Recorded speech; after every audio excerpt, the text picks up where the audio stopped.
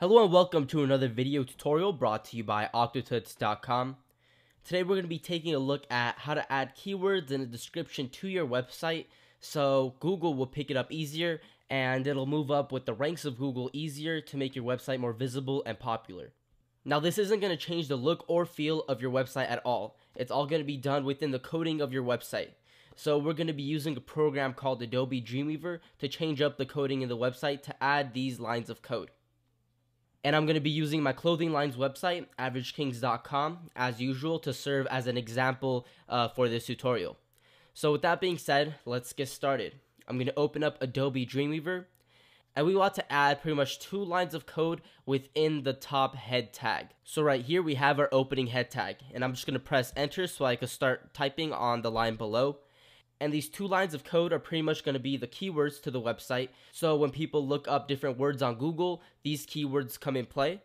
And the second line of code is going to be the description to the website. So when people Google and they actually do find your website, it'll be the link of your website, and then right under it's going to be a custom description that we're going to input right now.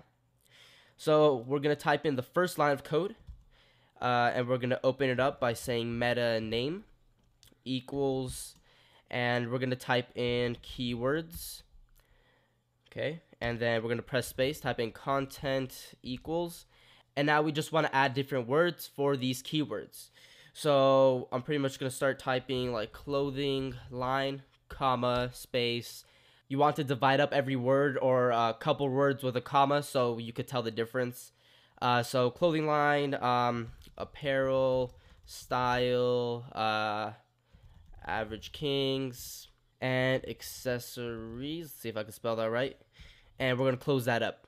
So you could add as many of those as you want. Um, some people say that if you add too much, your website becomes less specific and uh, it just becomes all cluttered and all over the place.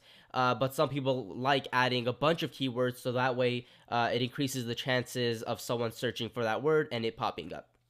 Okay, so we're going to press enter again.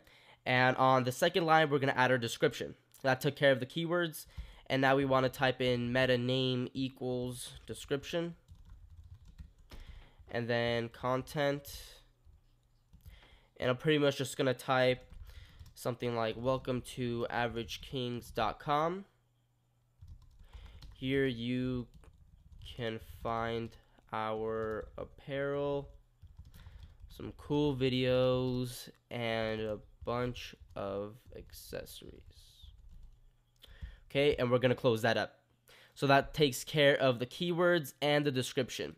Now, these two lines of text can and should help your visibility in Google because when someone searches for different words, these keywords come in action. And when they actually find your website, this description kicks in. So that's it for this video tutorial. Hope you guys learned something new today, and I hope this helps you out. Until next time, I'll see you guys later.